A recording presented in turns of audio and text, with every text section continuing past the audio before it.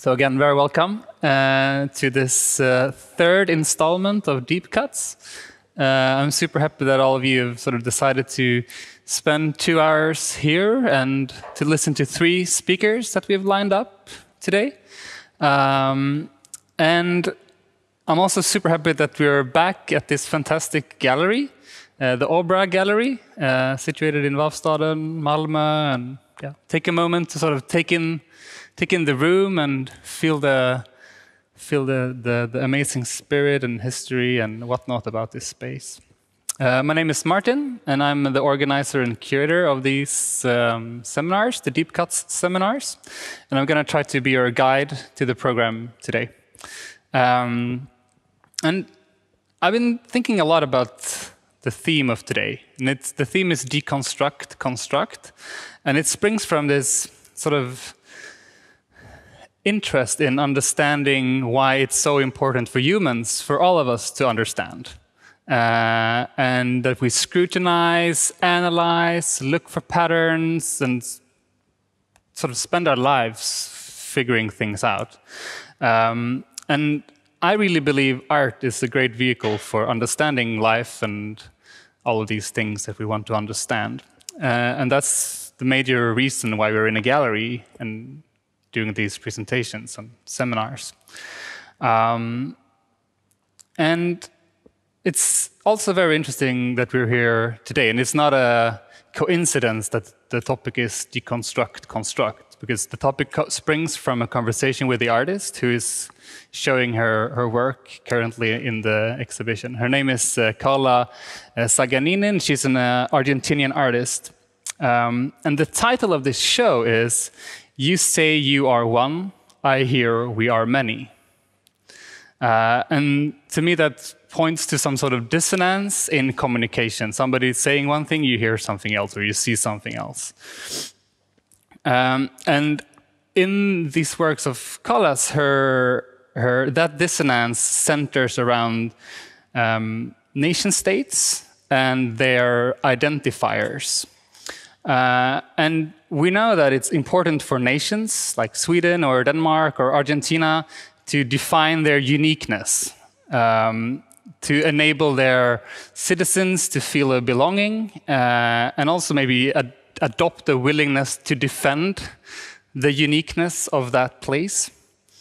Uh, and also to communicate to the rest of the world a sovereignty of a territory. Um, and the most basic elements in these communications are things like flags and national hymns. Um, and so through these colors and symbols and words are used to carve out what's so unique about a piece of land, or at least it tries to do so. But I think it's interesting to, to, to, to just note that the concept of sovereign states are not even 400 years old. 400 years is a lot, but it's also a very short period of time. And to acknowledge that, that this is a designed concept, uh, and it's, it's, it's a way of sort of organizing the world. Um, and sometimes it works quite well, right? Uh, and in some other times, their faultiness is, is very visual. Um, and in other cases, this way of organizing the world also reinforces the inequalities of the world. Uh, and you know, the concept certainly feels failed in times when there's a need of migration because of war, natural disasters, whatnot, that we've been experiencing in the last couple of years, or in increasingly nationalistic times when sort of the us and them narrative are getting rooted. Um, so it's therefore important to, to, to be able to understand um, what we are and where we come from and what, what is so sort of unique. And in Carla's work, what she does is that she analyzes the colors and the symbols in and words in those national symbols, only to show us that they're actually a lot the same. Uh, so in previous works, you've shown how colors are repeated in a lot of flags. Uh, and in this particular work, she shows how the same words appear in the same places in national hymns. Um,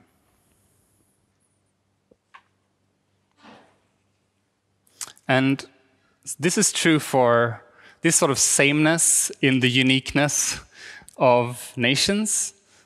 Also, we can see that also in, in things like brands or companies. Um, brands and companies go to a great length to sort of differentiate themselves from others and try to describe why we should uh, buy one brand and not another. Uh, again, the use of design and words um, are used to, to, to, make that differentiation. Uh, but only to end up very much the same. I mean, look at sneakers or smartphones or even things like mobile subscription services. I mean, the variation isn't huge uh, in all of these things, although companies try to try the best to point out the differences.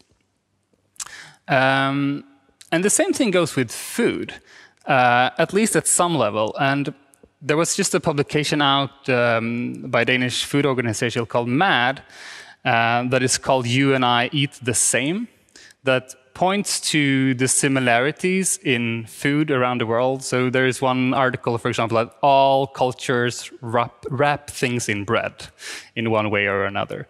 Um, uh, and I just find it very interesting to sort of look for the sameness when we talk about unique. And, and I gave everybody here today a, a Dumlekola. And I don't know if you noticed it, but I presented it as a very Swedish thing.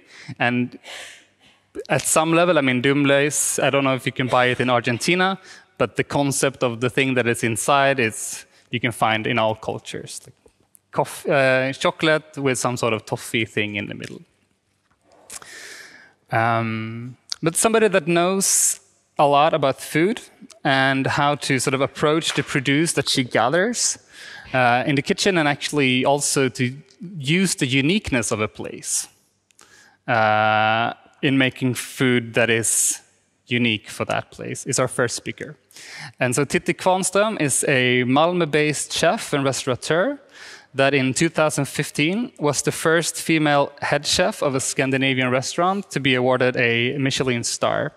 She now runs uh, Folk Mat och Möten and is also involved in a lot of uh, interesting food initiatives uh, in our region. Uh, and so please give a warm welcome to Titti Kvarnström.